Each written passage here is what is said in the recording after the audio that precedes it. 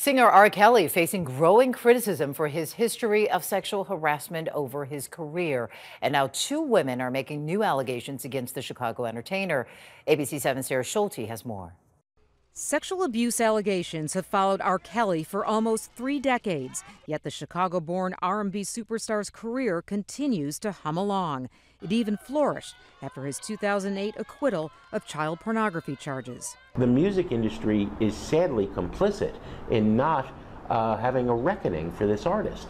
Jim DeRogatis says Kelly's day of reckoning is long overdue. The music writer has been writing about sexual abuse allegations against Kelly for years. Today, DeRogatis wrote a lengthy piece in BuzzFeed about more allegations from women who say they were abused by Kelly as teenagers. In addition, DeRogatis interviewed parents who say their children are being held by Kelly. These young women, according to five parents who are on the record now, are being held in a situation where they're told when to eat, when to sleep, how to dress, how to pleasure him in encounters he records. While Kelly adamantly denies the allegations, a movement to mute him is gaining momentum.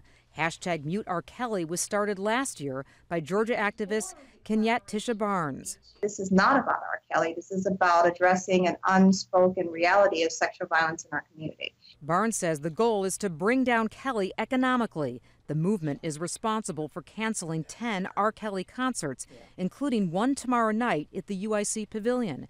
With many Hollywood celebrities on board, hashtag Mute R. Kelly is hoping radio stations and streaming services stop playing the artist.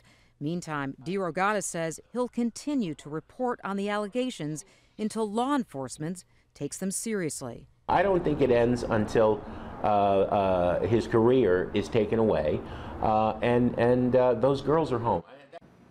In a statement responding to Jim DeRogatis' BuzzFeed story, R. Kelly's management team says they deny the many dark descriptions put forth by instigators and liars who have their own agenda for seeking profit and fame.